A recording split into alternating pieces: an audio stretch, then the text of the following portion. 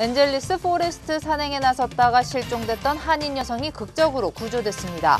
전문가들은 산행을 시작하기 전에는 철저한 준비가 필요하다고 조언했습니다. 노동 환경 개선을 요구하는 천여 명의 청소 노조원들의 시위가 한인타운 한복판에서 열렸습니다. 맥아더팍에서 놀만디까지 가두 행진도 벌였습니다. 남가주 지역 평통위원 정원이 크게 축소됐습니다. 오는 9월부터 새 임기가 시작되는 평통위원 신청도 시작됐습니다. 전 세계 경기가 1년 후에는 침체될 것으로 예상하는 대기업 재무 담당자가 2명 중 1명이나 됐습니다.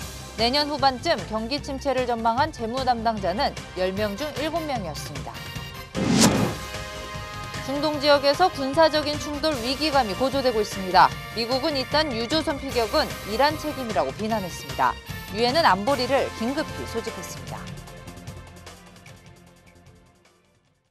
이 프로그램은 새롭게 탄생한 X라인, GT라인 터보, EX 디자이너 컬렉션으로 완벽하게 변신한 2020 기아 소울 후원입니다.